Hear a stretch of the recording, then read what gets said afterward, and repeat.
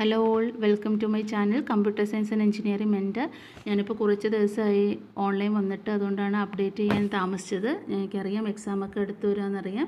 അപ്പോൾ remaining topics ഞാൻ ഈ വീക്കിനുള്ളിൽ അപ്ലോഡ് ചെയ്ത് തരാം കേട്ടോ.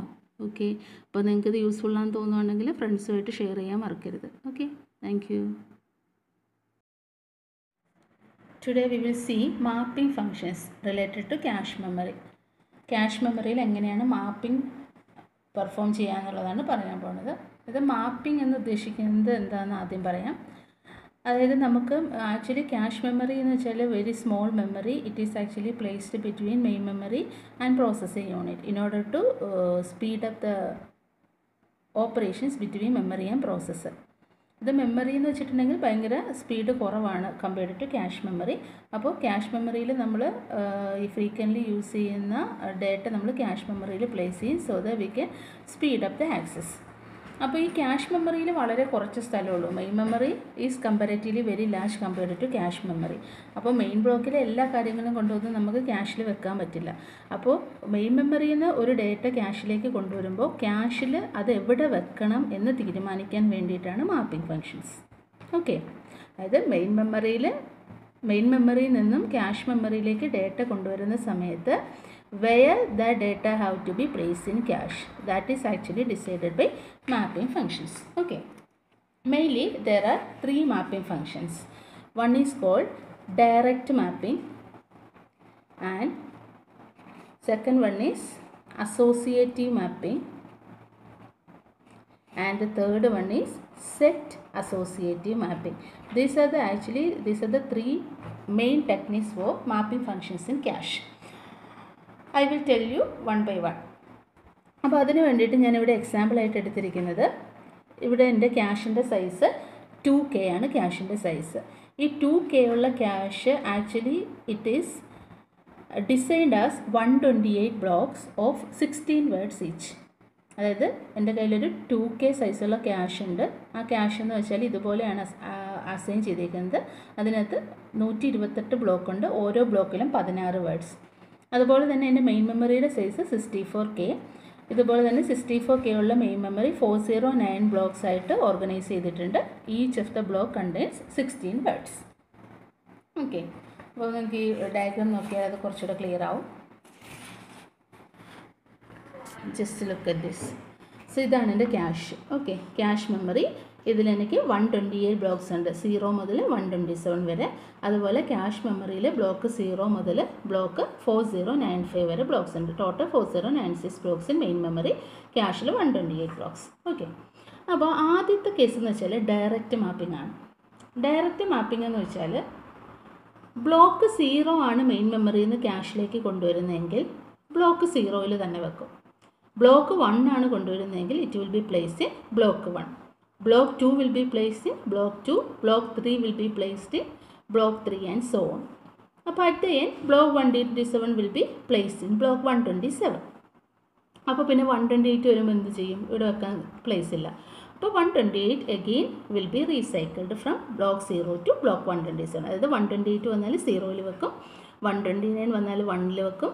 വൺ തേർട്ടി വന്നാൽ ടൂവിൽ വെക്കും ആൻഡ് സോ ഓൺ അതുപോലെ തന്നെ ബ്ലോക്ക് ടു ഫിഫ്റ്റി ഫൈവ് എത്തുമ്പോൾ വീണ്ടും ബ്ലോക്ക് ടു ഫിഫ്റ്റി സിക്സ് വരുമ്പോൾ വീണ്ടും ബ്ലോക്ക് സീറോയിൽ വെക്കും. ഇങ്ങനെ പോകും അതായത് ഈ ഓർഡറിൽ പോകും അതിന് വേണ്ടിയിട്ട് ആക്ച്വലി ഒരു ഫോർമുല ഉണ്ട്. അതായത് ബ്ലോക്ക് ജെ ജനറലി പറയുവാണെങ്കിൽ block J of main memory block J of main memory will be placed in will be placed in block J modulo 128 of cash. ഇത് ബ്ലോക്ക് ജെ ഇപ്പം നിങ്ങൾ സീറോ ആണ് എടുക്കുന്നതെന്ന് വിചാരിക്കുക. ബ്ലോക്ക് സീറോ ആണെങ്കിൽ എവിടെ വെക്കും? Block zero modulo one twenty എയ്റ്റിൽ വെക്കുക. Block zero modulo one twenty eight എന്ന് വെച്ചാൽ എന്താ? Zero modulo one twenty eight എന്ന് വെച്ചാൽ സീറോയെ വൺ ട്വന്റി എയ്റ്റ് കൊണ്ട് ഡിവൈഡ് ചെയ്യുമ്പോൾ കിട്ടുന്ന റിമൈൻഡർ സീറോയെ വൺ ട്വന്റി എയ്റ്റ് കൊണ്ട് ഡിവൈഡ് ചെയ്യുമ്പോൾ സീറോ തന്നെയാണ് റിമൈൻഡർ അപ്പോൾ ഇവിടെ വെക്കും? ബ്ലോക്ക് സീറോയിൽ വെക്കും. ബ്ലോക്ക് സീറോ വന്നാൽ ബ്ലോക്ക് സീറോയിൽ വെക്കും. അതുപോലെ ബ്ലോക്ക് വൺ ആണ് വരുന്നതെങ്കിൽ block one modulo one twenty എയ്റ്റിൽ place ചെയ്യുക. എന്ന് വെച്ചാൽ one divide by one twenty eight ചെയ്യുമ്പോൾ കിട്ടുന്ന റിമൈൻഡർ വൺ അപ്പോൾ in general block two fifty സെവനാണ് വരുന്നതെന്ന് വിചാരിക്കുക. അങ്ങനെയാണെങ്കിൽ block two fifty seven modulo one twenty eight എവിടെ കിട്ടും? Two fifty seven divided by one twenty eight ചെയ്യുക. അതിന്റെ റിമൈൻഡർ എന്ന് വെച്ചിട്ടുണ്ടെങ്കിൽ one so this will be placed in block one so ഇതാണ് general formula block J of main memory will be placed in block J modulo one twenty eight of cache അപ്പോൾ ഇവിടെ ഒരു കാര്യം ഒന്ന് ഓർക്കണം. ഈ വൺ ട്വന്റി എയ്റ്റ് എന്ന് പറഞ്ഞാൽ ഫിക്സഡ് നമ്പർ അല്ല. ഇവിടെ ഞാൻ എടുത്തിരിക്കുന്ന ക്യാഷിന്റെ സൈസ് ബ്ലോക്കിന്റെ നമ്പർ വൺ ട്വന്റി എയ്റ്റ് ആണ്. അപ്പോൾ നിങ്ങൾ എടുക്കുന്ന ക്യാഷിന്റെ സൈസ് എത്രയാണോ ക്യാഷിൽ എത്ര ബ്ലോക്സ് ഉണ്ടോ ആ ബ്ലോക്കിന്റെ നമ്പർ വെച്ചിട്ടാണ് ഇവിടെ റീപ്ലേസ് ചെയ്യേണ്ടത്. ഓക്കെ അത് മാത്രം ഒത്തിരിക്കുക so this is a general formula അപ്പോൾ ഇങ്ങനെയാണ് നമ്മൾ ക്യാഷിൽ ഡേറ്റ കൊണ്ട് വെക്കുക. അപ്പോൾ ഇവിടെ വരുന്ന പ്രശ്നം എന്തായിരിക്കും? ഫോർ എക്സാമ്പിൾ ഇപ്പോൾ എനിക്ക് ആവശ്യമുള്ള ബ്ലോക്ക് അതായത് എനിക്ക് ക്യാഷ് മെമ്മറിയിലേക്ക് ഒരേ സമയത്ത് കൊണ്ടുവരേണ്ട ബ്ലോക്ക് ബ്ലോക്ക് സീറോയും ബ്ലോക്ക് വൺ ട്വന്റി എയ്റ്റും ആണെന്ന് വിചാരിക്കുക. എനിക്ക് വേറെ ബ്ലോക്ക് ഒന്നും കൊണ്ടുവരേണ്ട ആവശ്യമില്ല. മെയിൻ മെമ്മറിയിലെ ബ്ലോക്ക് സീറോയിലുള്ള ഡേറ്റയും മെയിൻ മെമ്മറിയിലെ ബ്ലോക്ക് വൺ ട്വന്റി എയ്റ്റിലുള്ള ഡേറ്റയാണ് ഇപ്പോൾ ഫ്രീക്വന്റലി യൂസ്ഡ് ആയിട്ടുള്ള ഡേറ്റ. ഈ ഡേറ്റ എനിക്ക് ക്യാഷിലേക്ക് കൊണ്ടുവരണമെന്ന് വിചാരിക്കാം അപ്പോൾ ഞാൻ ബ്ലോക്ക് സീറോ കൊണ്ടുവരുമ്പോൾ ക്യാഷിൽ എവിടെ വെക്കും? ബ്ലോക്ക് സീറോയിൽ വെക്കും. അടുത്ത ബ്ലോക്ക് വൺ ട്വന്റി എയ്റ്റ് വരുമ്പോഴും എവിടെ വെക്കും? എനിക്ക് ബ്ലോക്ക് സീറോയിൽ മാത്രമേ വെക്കാൻ പറ്റുള്ളൂ. ബട്ട് ഇതൊക്കെ ഫ്രീ ആണ്. ബാക്കിയുള്ള സ്പേസസ് ഒക്കെ ഫ്രീ ആണെങ്കിലും എനിക്കവിടെ വെക്കാൻ പറ്റുന്നുണ്ടോ? ഇല്ല. ബ്ലോക്ക് വൺ ട്വന്റി എയ്റ്റ് വന്നാലും ബ്ലോക്ക് സീറോയിൽ തന്നെ പ്ലേസ് ചെയ്യാൻ പറ്റും. സോ ഇവിടെ ഒരു ഒരേ ഒരേ സ്പേസിന് വേണ്ടിയിട്ടുള്ള ക്ലാഷ് വരും. This is the main disadvantage of direct mapping technique that is the contention may arise for the same block the contention may arise for the same block this is the main disadvantage of direct mapping അത് ഓർത്തിരിക്കുക. പിന്നെ mapping technique പറയുമ്പോൾ നമ്മൾ പിന്നെ ഒരു ഓർത്തിരിക്കേണ്ട ഒരു കാര്യം എന്ന് വെച്ചാൽ ഈ മെയിൻ മെമ്മറി അഡ്രസ്സ് വരുമ്പോൾ നമ്മൾ എങ്ങനെയാണ് ഒരു ബ്ലോക്ക് ഏതാണ് വേർഡ് ഏതാണെന്നൊക്കെ അറിയാമെന്നുള്ളതാണ്. അപ്പോൾ ഇവിടെ നമ്മുടെ മെയിൻ മെമ്മറിയുടെ സൈസ് എന്ന് വെച്ചിട്ടുണ്ടെങ്കിൽ എത്ര സൈസ് എന്നാണ് പറഞ്ഞാൽ സിക്സ്റ്റി ഫോർ കെ ആണെന്ന് ഞാൻ പറഞ്ഞു. സിക്സ്റ്റി ഫോർ കെ അപ്പോൾ സിക്സ്റ്റി ഫോർ കെ എന്ന് പറയുമ്പോൾ ഇതെങ്ങനെ എഴുതാം? Sixty four into one zero two four ഒരു കെ എന്ന് പറഞ്ഞാൽ വൺ സീറോ ടു ഫോർ അതായത് sixty four into two raise to ten എന്ന് ഇതിന് എഴുതാം. One zero two four two raise to ten ആണ്. സിക്സ്റ്റി ഫോർ എന്ന് വെച്ചാൽ ടു റേസ് ടു സിക്സ് ആണ്. Two raise to six into two raise to ten ഇതാണ് എന്റെ മെയിൻ മെമ്മറിയുടെ സൈസ് അപ്പോൾ എനിക്ക് ഈ മെയിൻ മെമ്മറി റെഫർ ചെയ്യാൻ വേണ്ടി എത്ര ബിറ്റ് അഡ്രസ്സ് വേണം? ഇവിടെ ടെൻ ഉണ്ട് സിക്സ് ഉണ്ട്. ടോട്ടൽ സിക്സ്റ്റീൻ ബിറ്റ് അഡ്രസ്സാണ് വേണ്ടത്. നമ്മൾ എടുത്തിരിക്കുന്ന ഇവിടെ എക്സാമ്പിൾ എടുത്തിരിക്കുന്ന മെയിൻ മെമ്മറിയുടെ സൈസ് എന്ന് വെച്ചിട്ടുണ്ടെങ്കിൽ സിക്സ്റ്റി ഫോർ കെ ആണ്. ഈ സിക്സ്റ്റി ഫോർ കെ റെഫർ ചെയ്യാൻ എനിക്കൊരു സിക്സ്റ്റീൻ ബിറ്റ് അഡ്രസ്സ് വേണം. ഓക്കെ അപ്പോൾ ഒരു സിക്സ്റ്റീൻ ബിറ്റ് അഡ്രസ്സ് വരുന്ന സമയത്ത് എങ്ങനെയാണ് അതിനെ സ്പ്ലിറ്റ് ചെയ്യുന്നത് എന്നുള്ളതാണ് ഇവിടെ കാണിച്ചിരിക്കുന്നത്. അപ്പോൾ ഇതിന്റെ ലീസ്റ്റ് സിഗ്നിഫിക്കന്റ് ബിറ്റ് അതായത് four least significant bit word ഏതാന്ന് റെപ്രസെന്റ് ചെയ്യാൻ വേണ്ടിയിട്ടാണ് അതായത് ഇവിടെ ഒരു ബ്ലോക്ക് എന്ന് പറഞ്ഞാൽ ഈ ഒരു ബ്ലോക്കിനകത്ത് പതിനാറ് വേർഡ്സ് വെച്ചിട്ടുണ്ട്. ഇങ്ങനത്തെ ഇവിടെ ക്യാഷിൽ നൂറ്റി ഇരുപത്തെട്ട് ബ്ലോക്ക് ഉണ്ട്. ഈ ഓരോ ബ്ലോക്കിലും പതിനാറ് വേർഡ്സ് വെച്ചിട്ടുണ്ട്. അപ്പോൾ ഞാൻ ഒരു പ്രോസസ്സറുടെ ഡേറ്റ റെഫർ ചെയ്യുന്ന സമയത്ത് ഈ ബ്ലോക്കിലെ എത്രാമത്തെ വേർഡാണെന്ന് നമ്മൾ അറിയണം. അതിന് വേണ്ടിയിട്ടാണ് നാല് ബിറ്റ് യൂസ് ചെയ്യുന്നത്. പതിനാറ് വേർഡിൽ നിന്ന് ഒരു വേർഡ് റെഫർ ചെയ്യാൻ വേണ്ടിയിട്ട് നാല് വേർഡ് വേണം. നാല് ബിറ്റ് വേണം അല്ലേ? പതിനാറ് വേർഡ്സിന് റെഫർ ഒരു ഒരെണ്ണം റെഫർ ചെയ്യാൻ ഫോർ ബിറ്റ്സ് വേണം. സോ ലീസ്റ്റ് സിഗ്നിഫിക്കന്റ് ബിറ്റായിട്ടുള്ള ഫോർ ബിറ്റ്സ് എന്ന് വെച്ചിട്ടുണ്ടെങ്കിൽ വേർഡിന് വേണ്ടിയിട്ട് പിന്നെ ബ്ലോക്ക് നോക്കുക. ഇവിടെ എത്ര ബ്ലോക്ക് ഉണ്ട് ക്യാഷിൽ വൺ ട്വന്റി എയ്റ്റ് ബ്ലോക്ക്സ് ഉണ്ട്. വൺ ട്വന്റി എയ്റ്റ് ബ്ലോക്സിൽ നിന്ന് ഒരു ബ്ലോക്കിനെ ഐഡന്റിഫൈ ചെയ്യാൻ എത്ര ബിറ്റ് വേണം? Two raise to N is equal to one twenty eight അത് സെവൻ ബിറ്റ് അല്ലേ? ടു റേസ് ടു സെവൻ അപ്പോൾ അടുത്ത സെവൻ ബിറ്റ്സ് എന്ന് വെച്ചിട്ടുണ്ടെങ്കിൽ ബ്ലോക്ക് ഏതാണ് ഐഡന്റിഫൈ ചെയ്യാൻ വേണ്ടി അപ്പം സെവൻ പ്ലസ് ഫോർ ലെവൻ ആയി. അപ്പോൾ സിക്സ്റ്റീൻ ബിറ്റിന്റെ ബാക്കി എത്രയുണ്ട്? അഞ്ച് ബിറ്റ് ഈ അഞ്ച് ബിറ്റ് എന്ന് വെച്ചാൽ ടാഗ് ബിറ്റാണ് അവിടെ നിങ്ങൾക്ക് കാണാം ഓരോ ബ്ലോക്കിനോടും അസോസിയേറ്റ് ചെയ്തിട്ട് ടാഗ് ബിറ്റ് ഉണ്ട്. ഒരു മെയിൻ മെമ്മറി അഡ്രസ്സ് വരുന്ന സമയത്ത് തന്നെ ആ അഡ്രസ്സിന്റെ first most significant five most significant bits എന്ന് വെച്ചിട്ടുണ്ട് ടാഗാണ് ഈ ടാഗ് വെച്ചിട്ടാണ് ക്യാഷിൽ ഡേറ്റ ഉണ്ടോ നമ്മൾ കമ്പയർ ചെയ്ത് നോക്കുക. അപ്പോൾ ഈ ഫൈവ് ബിറ്റ്സ് ടാഗ് ഈ ഇവിടെയുള്ള ക്യാഷ് ലിപ്പ് ഇരിക്കുന്ന ബ്ലോക്കിൽ ഏതെങ്കിലും ടാഗ് ആണെന്നുണ്ടെങ്കിൽ അതിന്റെ അർത്ഥം the data is already in cache അങ്ങനെയാണ് മെയിൻ മെമ്മറിയിൽ ക്യാഷ് മെമ്മറിയിൽ ഡേറ്റ ഉണ്ടോ എന്ന് അറിയാൻ വേണ്ടിയിട്ടാണ് ഈ ടാഗ് പെട്ടി യൂസ് ചെയ്യുക. ഓക്കെ അപ്പോൾ മാപ്പിംഗ് പറയുമ്പോൾ ഈ അഡ്രസ്സിന്റെ ഈ സ്പ്ലിറ്റ് കൂടെ ഒന്ന് ഓർത്തിരിക്കാം അപ്പോൾ ഇതാണ് direct mapping and second one is associative mapping അപ്പോൾ അസോസിയേറ്റീവ് മാപ്പിംഗ് എന്ന് വെച്ചിട്ടുണ്ടെങ്കിൽ അസോസിയേറ്റീവ് മാപ്പിങ്ങിലുള്ള അതായത് ഡയറക്റ്റ് മാപ്പിങ്ങിൽ നമ്മൾ പറഞ്ഞ പ്രശ്നം എന്തായിരുന്നു? കണ്ടൻഷൻ ഒരേ പ്ലേസിന് വേണ്ടിയിട്ടുള്ള കണ്ടൻഷനാണ് ഡയറക്റ്റ് മാപ്പിങ്ങിലെ പ്രശ്നം. അപ്പോൾ ഈ കണ്ടൻഷൻ കുറയ്ക്കുക എന്നുള്ള ഒരു പർപ്പസോട് കൂടിയിട്ട് ഉണ്ടായ mapping ടെക്നിക്കാണ് associative mapping according to the associative mapping നമുക്ക് എവിടെ വേണമെങ്കിലും വെക്കാം. ബ്ലോക്ക് സീറോ ബ്ലോക്ക് സീറോയിൽ മാത്രം place ചെയ്യണമെന്നോ block J modulo one twenty എയ്റ്റിൽ place ചെയ്യണമെന്നൊന്നുമില്ല ബ്ലോക്ക് സീറോ കൊണ്ടുവന്നാൽ അത് ബ്ലോക്ക് സീറോയിൽ വേണേൽ വെക്കാം. വണ്ണിൽ വെക്കാം. ടൂവിൽ വെക്കാം. വൺ ട്വന്റി സെവനിൽ വെക്കാം. ഏതിൽ വേണേലും വെക്കാം. Okay so that is associative mapping block block any block of the main memory otherwise block J of the main memory can be place in any block of the cache okay അതാണ് associative mapping അപ്പോൾ associative mapping നോക്കുമ്പോൾ നമുക്ക് block ഏതാണെന്ന് അറിയേണ്ട കാര്യമില്ലല്ലോ memory address വരുമ്പോൾ അല്ലേ? കാരണം ഏത് ബ്ലോക്കിൽ വേണേലും വെക്കാം. ഏത് ബ്ലോക്ക് വേണേലും വരാം. അപ്പോൾ അതിൽ ഏത് വേർഡാണെന്ന് മാത്രം നമ്മൾ അറിഞ്ഞാൽ മതി. അപ്പോൾ അതിന് വേണ്ടിയിട്ട് നാല് ബിറ്റ് വേർഡിന് വേണ്ടിയിട്ട് നമുക്കെടുത്തു. റിമൈനിങ് വരുന്ന ട്വൽവ് ബിറ്റ്സ് നമ്മൾ ടാഗ് ബിറ്റ്സ് ആയിട്ടാണ് എടുക്കുക. അപ്പോൾ ഈ ടാഗ് ബിറ്റ്സ് നോക്കിയിട്ടാണ് ക്യാഷിൽ ഡേറ്റ ഉണ്ടോ എന്ന് അറിയാം. അപ്പോൾ ഇവിടെ വരുന്ന പ്രശ്നം എന്തായിരിക്കും?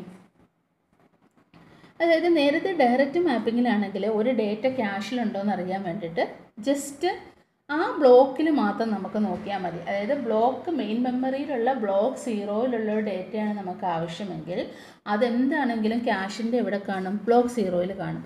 അപ്പോൾ നമുക്ക് ബ്ലോക്ക് സീറോയിൽ മാത്രം സെർച്ചിങ് നടത്തിയാൽ മതി. പക്ഷേ അസോസിയേറ്റീവ് മാപ്പിംഗ് വെച്ചിട്ടാണെങ്കിൽ എല്ലാ ബ്ലോക്കിലും സെർച്ച് ചെയ്യണം. ഇത് ബ്ലോക്ക് സീറോയിലുള്ളൊരു കണ്ടന്റ് ക്യാഷിലുണ്ടോ എന്ന് അറിയണം എന്നുണ്ടെങ്കിൽ block zero block one block two block three അങ്ങനെ എത്ര ബ്ലോക്ക്സ് ക്യാഷിലുണ്ടോ ഈ എല്ലാ ബ്ലോക്സിനും സെർച്ച് ചെയ്യണം. അപ്പോൾ ഈ ഇങ്ങനെ സെർച്ചിങ് എന്ന് വെച്ചാൽ ഇത് ഈ സെർച്ചിങ്ങിനാണ് നമ്മൾ അസോസിയേറ്റീവ് സെർച്ചിങ് എന്നാണ് പറയാം.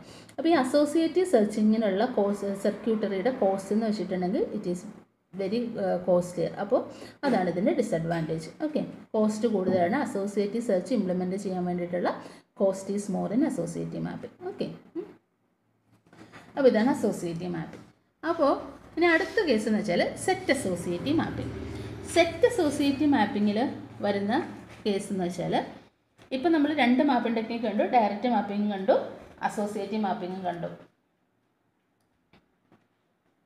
അപ്പോൾ ഇതിൽ ഇതിന് രണ്ടിന്റെയും കൂടെ ഒരു കോമ്പിനേഷനാണ് സെറ്റ് അസോസിയേറ്റീവ് മാപ്പിംഗ് ഇവിടെ കണ്ടോ? ഇവിടെ ഓരോ സെറ്റായിട്ട് അതായത് ഇവിടെ കുറച്ച് ബ്ലോക്സ് കൂട്ടിയിട്ട് നമ്മളൊരു സെറ്റാക്കും ഇതൊരു two way set associative mapping ആണ് ഈ ഡയഗ്രത്തിൽ കാണിച്ചിരിക്കുന്നത് അപ്പോൾ ഇവിടെ ബ്ലോക്ക് സീറോയും ബ്ലോക്ക് വണ്ണും കൂടെ കൂടിയിട്ട് സെറ്റ് സീറോ ബ്ലോക്ക് ടൂവും ബ്ലോക്ക് ത്രീയും കൂടെ കൂടിയിട്ട് set one block four and block five കൂടിയിട്ട് set two and so on അപ്പോൾ നമ്മൾ രണ്ട് ബ്ലോക്ക് രണ്ട് ബ്ലോക്ക് വെച്ചിട്ട് ഒറ്റ സെറ്റാക്കി അപ്പോൾ ടോട്ടൽ നമ്മുടെ കയ്യിൽ വൺ ട്വന്റി എയ്റ്റ് ബ്ലോക്ക് ഉണ്ട്.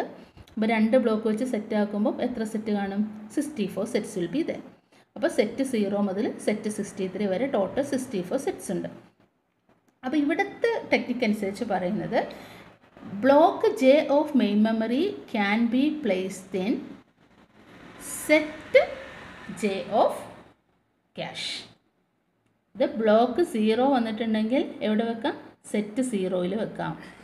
ഓക്കെ സെറ്റ് സീറോയിൽ വെക്കാമെന്ന് പറഞ്ഞാൽ അതിന്റെ അർത്ഥം എന്താ? സെറ്റ് സീറോയിൽ വെക്കാമെന്ന് പറഞ്ഞാൽ ഒന്നുകിൽ ബ്ലോക്ക് സീറോയിലും വെക്കാം അല്ലെങ്കിൽ ബ്ലോക്ക് വണ്ണിലും വെക്കാം. അതുപോലെ തന്നെ ഓരോ സെറ്റും ബ്ലോക്ക് ടൂവും ബ്ലോക്ക് ത്രീയും വന്നാൽ ഈ ബ്ലോക്ക് ടു സെറ്റ് വണ്ണിലും വെക്കാം ബ്ലോക്ക് ത്രീ വന്നാലും അത് സെറ്റ് വണ്ണിലുള്ള ബ്ലോക്ക് ടു ഉണ്ട് ബ്ലോക്ക് ത്രീ ഉണ്ട്. ഒന്നുകിൽ ബ്ലോക്ക് ടൂവിൽ വെക്കാം അല്ലെങ്കിൽ ബ്ലോക്ക് ത്രീയിൽ വെക്കാം. അപ്പോൾ ഡയറക്റ്റ് മാപ്പിംഗ് ആണെങ്കിൽ ബ്ലോക്ക് സീറോ വന്നാൽ ബ്ലോക്ക് സീറോയിൽ മാത്രമേ വെക്കാൻ പറ്റുള്ളൂ. അപ്പോൾ ഇവിടെ കുറച്ചുകൂടി ലീനിയൻസി കൊടുത്തു. വേണമെങ്കിൽ ബ്ലോക്ക് സീറോയിലും വെക്കാം. അല്ലെങ്കിൽ ബ്ലോക്ക് വണ്ണിലും കൊടുക്കാം.